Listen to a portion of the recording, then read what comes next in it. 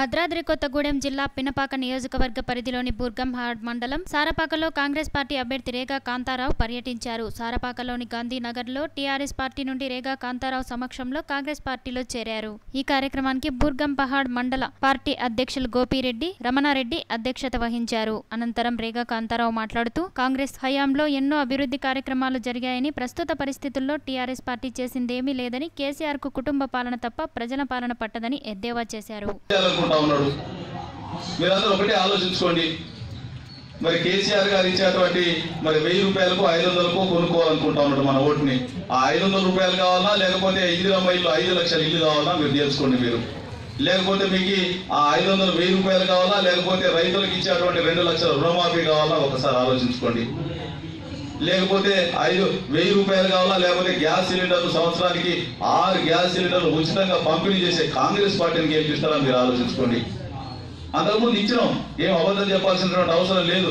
ఒకేసారి దేశవ్యాప్తంగా రుణమాఫీ చేసినటువంటి చరిత్ర కాంగ్రెస్ పార్టీకి ఉంది. పోడు మూల పట్టాలు ఇచ్చినటువంటి చరిత్ర కాంగ్రెస్ పార్టీకి ఉంది. ఎస్సీ ఎస్టీలకి కరెంటు బిల్లులు మాఫీ చేసినటువంటి చరిత్ర కాంగ్రెస్ పార్టీలకు ఉంది. బంజారు భూములు పంచిచ్చినటువంటి చరిత్ర కాంగ్రెస్ పార్టీకి ఉంది. ఇలా బంజారా సోదరులు కూడా కాంగ్రెస్ పార్టీ ఆ రోజు రిజర్వేషన్లు కలిపింది కాబట్టి ఇలా మీరంతా కూడా ఇవాళ అనుభవిస్తా ఉన్నారు రిజర్వేషన్ అంతా కూడా. ఒకసారి చరిత్ర చూసుకోండి చరిత్ర ఆలోచించుకోండి. కేసీఆర్ గారు చెప్పిండు రిజర్వేషన్ ఇస్తాడు ఏమి ఇచ్చాడు రిజర్వేషన్ మనకి? ఆయన చేతులు ఉంది తొమ్మిది పర్సెంట్ రిజర్వేషన్ ఇచ్చేటువంటి చే- ఆయనకి అర్హత ఉంది.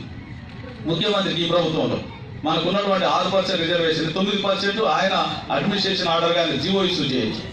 ఇచ్చిన మనకి తొమ్మిది పర్సెంట్ ఇవ్వకుండా ఆయన చేతులు ఉన్న పని చేయకుండా తొమ్మిది పర్సెంట్ ముందు ఇచ్చి నువ్వు కావాల్సిన రిజర్వేషన్ కోసం కొట్లాడు కేంద్రం నుండి. కానీ ఏదో తిట్టకూర గొలిగా అన్నట్టుగా తొమ్మిది పర్సెంట్ రిజర్వేషన్ ఇవ్వకుండా పన్నెండు పర్సెంట్ రిజర్వేషన్ కేంద్రానికి పంపిస్తాడు. అంటే నేను ఇయ్యాలని చెప్పేసి ఏదో నీ కాగితం పంపిస్తే వాడు ఇయ్యట్లేడని చెప్పి వాడు నువ్వు ఇంటర్నల్గా దొంగతనంగా మాట్లాడుకుని ప్రజలందరికీ తెలుసు. ప్రజలందరూ పిచ్చోళ్ళు కాదు. మాట్లాడబడతాను నువ్వు ఎట్లా మాట్లాడుతా ఉన్నావు నువ్వెట్లా మోసం చేస్తావు ఇంతకంటే ఆయన ఎక్కువ మోసం చేస్తా ఉన్నాడు. మన డబ్బులు దాచుకున్న డబ్బులు బ్యాంకులు ఉన్నటువంటి డబ్బులే మన బిడ్డ పెళ్ళికో లేకపోతే మన పొలంలో పనిచేసినటువంటి కూలీలకు ఇవ్వడానికి లేకపోతే మనకి అత్యవసరంగా ఏదైనా హాస్పిటల్కి పోతే మరి ఆ- పూటకి డబ్బులు కావాలంటే మనం దాచుకున్నటువంటి డబ్బులే మనం తీసుకునేటువంటి పని లేదు. తీసుకునేటువంటి దిక్కు లేక డబ్బులు లేక ప్రాణాలు పోయినటువంటి కుటుంబాలు ఎంతో మంది ఉన్నారు. పెళ్ళిళ్ళు పెట్టుకుంటే కట్నా డబ్బులు కూడా ఇవ్వలేక ఎంతో మంది బిడ్డలు చనిపోయినటువంటి మనం చూసిన పరిస్థితులు. ఇటువంటి పరిస్థితులను ఏర్పడడానికి మరి ఈ గందరగోళ పరిస్థితులకి కారకులు ఎవరైనా కేసీఆర్ గారు ఇక్కడ మోడీ గారు కాదా? కాబట్టి ఒకసారి మీరందరూ కూడా ఆలోచించాలి. ఆలోచించండి.